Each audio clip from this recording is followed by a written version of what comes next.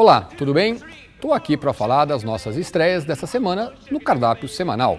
Como tenho dito nas últimas semanas, nesse período de transição entre as plataformas onde está o nosso alacarte, a gente está com dois filmes por semana. Em breve nós voltaremos aos quatro tradicionais. O primeiro filme é Sugar Baby, Zucker Baby em alemão, um filme que ganhou a Mostra Internacional de Cinema na votação popular na décima edição. Filme de Percy Adlon, de 1985, que depois faria Bagdá Café, que foi um enorme sucesso e que também está aqui no nosso alacarte. Hoje em dia, Sugar Baby tem um significado que não preciso explicar, todo mundo sabe, mas no filme não tem nada a ver. É a história de uma mulher de uns 38 anos, interpretado pela sensacional Marianne Zagebrecht, que foi descoberta para o mundo nesse filme. Ela mora sozinha, tem dificuldade de se relacionar com as pessoas e todo dia ela pega o metrô para ir para o trabalho. E no metrô, como em qualquer lugar do mundo, tem aquela voz que diz o nome da próxima estação e que as portas vão se fechar. E num dia ela está na sua viagem, como sempre meio sorumbática, quando ela ouve a voz do condutor ela se apaixona por aquela voz. Quando o trem já está mais para frente, ela sai, porque nesta cidade onde se passa o filme, o condutor sai da cabine para ver se tem alguém entrando ou saindo e ela consegue ver. E é um rapaz bonito, loiro, e ela fica completamente apaixonada. Ela vai então fazer toda uma investigação dos horários dos metrôs, das linhas, para que ela consiga pegar os trens guiados por aquele rapaz até que ela consiga conhecê-lo e conquistá-lo.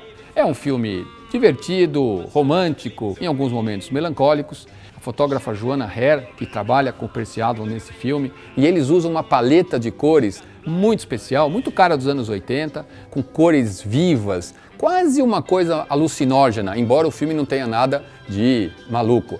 O Percy Adlon fez alguns documentários, o seu primeiro longa foi um filme chamado Celeste, que ele fez pouco antes de Sugar Baby, e que fala da Celeste, que era a empregada do Marcel Proust. E o Proust estabeleceu com ela uma relação muito próxima. Ela foi uma espécie de musa até, porque como ele não saía do quarto, ele pedia para ela contar histórias e as histórias que ela contava estimulavam a criatividade dele e estimulavam a memória dele quando ele escreveu Em Busca do Tempo Perdido. É um filme bastante diferente de Sugar Baby, é mais seco, não tem aquela paleta de cores tão especial, mas é um filme muito curioso. A gente está procurando para poder oferecer para vocês aqui. Então, tá para você aqui a partir de agora, Sugar Baby, de Percy Adlon. O segundo filme da semana é outra toada, é um thriller. O filme chama-se Dark Harbor. É uma produção em inglês estrelada pelo Alan Rickman. A gente não traduziu o título desse filme porque ele foi lançado no Brasil no final dos anos 90 em DVD com o título Ilha do Medo. A gente decidiu manter o título Dark Harbor e não usar Ilha do Medo porque Ilha do Medo virou o filme dos Scorsese.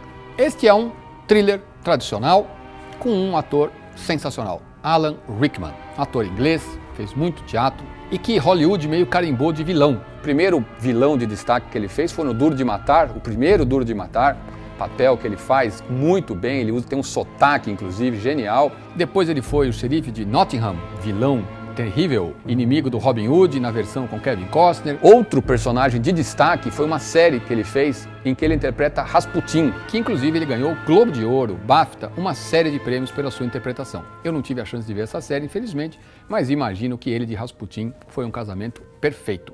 Aqui a gente tem um thriller, Está aqui por causa do elenco e está também porque é um filme inteligente e cujo roteiro é, de certa maneira, uma refilmagem do primeiro filme do Polanski, chamado Faca n'Água. A gente tem a história desse casal, está voltando para a sua casa, que é numa ilha, e eles querem pegar a última balsa.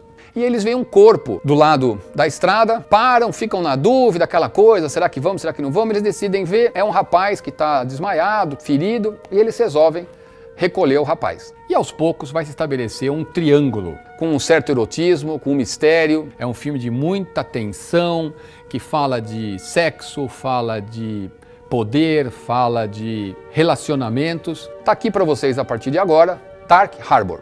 Um filme que você vai ficar entretido, se divertir e se surpreender com o desenrolar da história.